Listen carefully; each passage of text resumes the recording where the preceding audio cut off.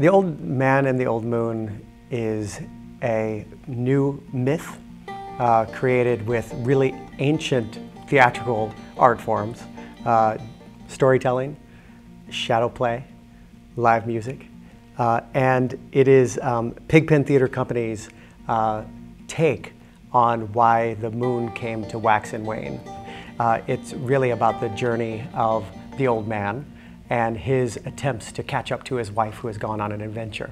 And so she tempts him out onto the, onto the seas and um, as he tries to catch up to her on her adventure, he goes on a, a journey of his own. Um, I think what's remarkable about this young group of uh, artists that both have written the play, they also perform in the play and play music. All of them play multiple instruments.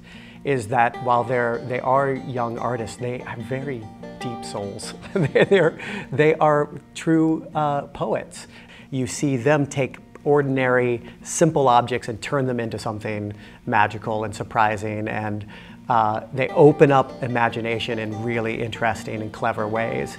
After watching The Old Man and the Old Moon, I hope that audiences leave invigorated, um, thrilled by watching uh, a group of artists and storytellers bring a simple story to life in extremely clever, surprising, uh, and hopefully moving ways.